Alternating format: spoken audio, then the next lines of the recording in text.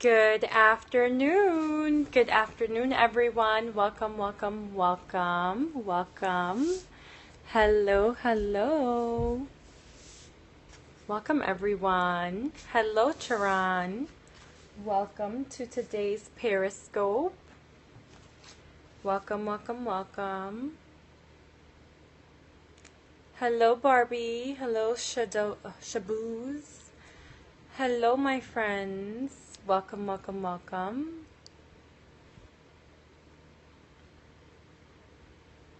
So, today we are going to be doing a little ceremony together. Thank you for all the hearts thus far. And we're also going to be, as normal, um, talking about our daily position. So, I thought since, you know, we are keeping it a little more on the spiritual side today with, um, with our full moon ritual, we are going to actually turn up the heat with the position of the day. So this is totally titil- tit- titillating. Blocking you. Hello, my love Yuri. Hello, Imani. Welcome back. And that is our position for today. So, in this position, you know, there is a lot of um, lover's gaze happening. The man's legs are straight, and, you know, there is just a lot of embracing in this image. So it's definitely a very passionate image, um, a very passionate position. Your legs would cramp. Thanks for sharing that, my love. Um, but that is indeed our position for today. The boobs are being fondled, yes. Yes, yes, yes. There's a lot of fondling of the breasts and caressing of the woman's um, you know, central areas in this position. So that is our position for today, keeping it nice and spicy with that position. Now, moving into our reading. The eye contact is really good. Thank you for letting us know and acknowledging that because I agree with you. So today, you know, it's it's my mom's birthday, so she's like, "How long are you gonna do videos for?" so I'm gonna keep it a little bit on the shorter side so that I can spend more time with her since I'm here only for a few days. But I do want to do a little card reading and then just let you all know about the moon. Happy birthday, Suegra. Oh, look at you, Yuri. Laughing out loud. Hello, hello, hello. So today's full moon is, you know, it's an a, it's a special full moon, in that there is, it's the full moon right after the um, right after the spring equinox. So there is a lot of energy shifting, and for me, I really feel like we are shifting into more abundance and positive energy. But the first couple of days, even the first week, is going to be a little more on the challenging side, right? Because there is still stuff from the last um, couple of months that needs to be let go of. So make sure that you do a lot, a lot of releasing and set intentions right? Set intentions for the next three months. That's going to be super, super, super important. So let's get started with our reading for today.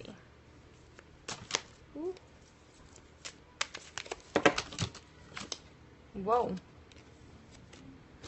Cards are dropping like it's hot. okay. So the first card is kind of about where we are, and it is financial constraints. Oh, the light is doing a little weird reflection thing. Right? So you know, some of us have been struggling with finances over the last couple of months. And that that's this is just an acknowledgement. They're acknowledging this is where we're we've been at. This is what's kind of been going on.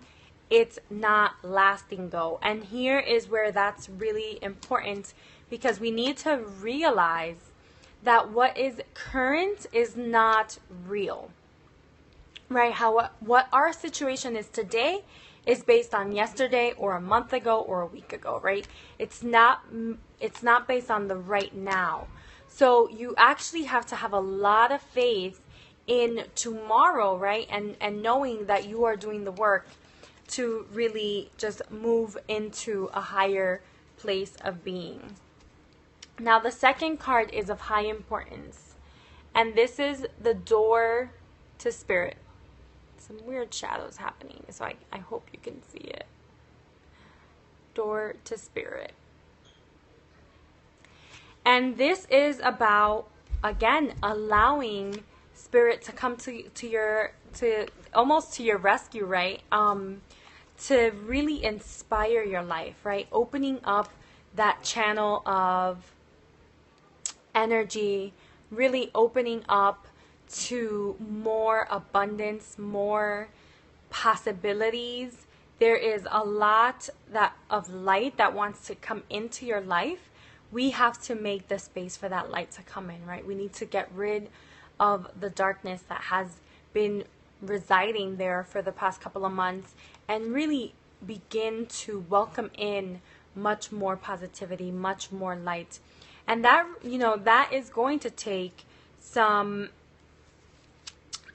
some, you know, reflection, right? And the next card, also of high importance, is the thinking woman.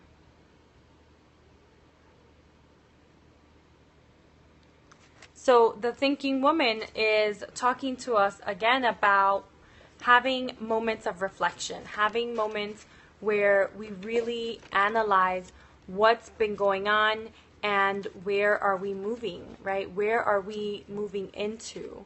um, where is our energy at the moment because what's interesting is that you know personal growth is, is hard personal growth is not an easy process. We can be feeling confused. We can be um, doubting ourselves and, and questioning things. And that is part of the journey right? Part of the journey in self-development is challenging times. But knowing that this small moment in time right now is actually worth so much more time later, right? It is saving us time later. And this message kept coming up. It came up this morning and it's coming up again. But knowing that spiritual practice is one of the things that we can most invest in, right? It's it's high investment, high return because it's actually going to save us time later on. And that's something that one of my spiritual gurus says all the time. And I totally agree with her. Hello, Ricardo.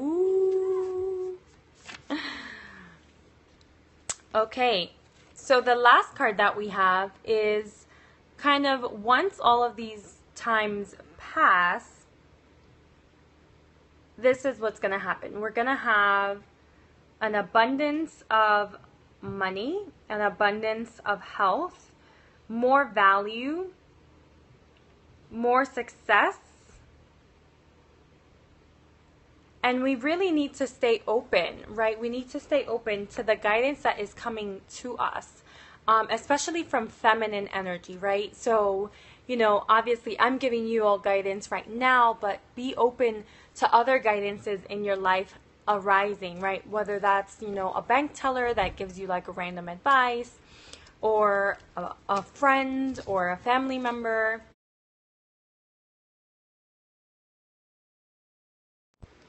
That, that gives you some type of advice. Advice is coming through for us. So just wait.